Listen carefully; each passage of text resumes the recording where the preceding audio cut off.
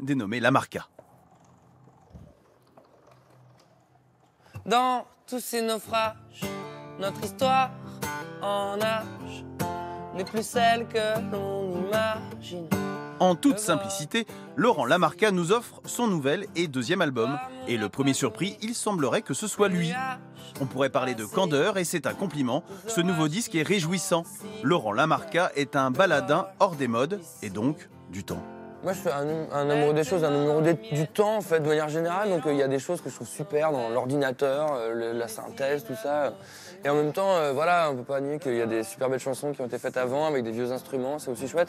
Donc, ouais, moi, ça me paraît évident de, de combiner un peu les deux. La vida Laurent Lamarca est chanteur, auteur, compositeur dans la grande tradition.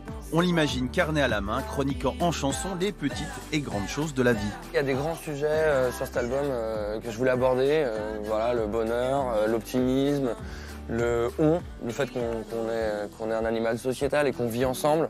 En ce début de carrière, Laurent Lamarca sait qu'il faut être avec soi-même exigeant s'il veut que la roue qui tourne l'emmène au firmament. Écrire une chanson, c'est facile. Écrire une bonne chanson, c'est plus dur. du coup, j'écris beaucoup de chansons. J'écris quasiment une chanson par jour, mais elles sont souvent quand même pourries. Après, voilà, il y en a quelques-unes qui sont mieux que d'autres, quoi. On dessine d'autres lignes, on suit le signes.